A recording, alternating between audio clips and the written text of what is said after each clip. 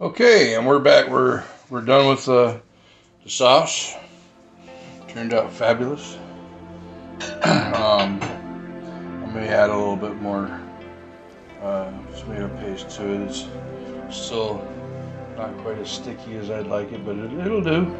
Um, we got we got a lot of real estate for for that uh, sauce to stick to um, because we got all that wonderful linguine that we pressed up today in the KitchenAid.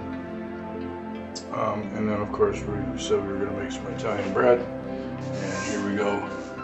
We got our uh,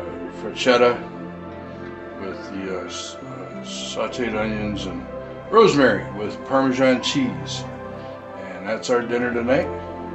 Uh, from all of us here, we uh, thank you for watching and hope you all enjoy whatever it is you're coming up with. Chat later.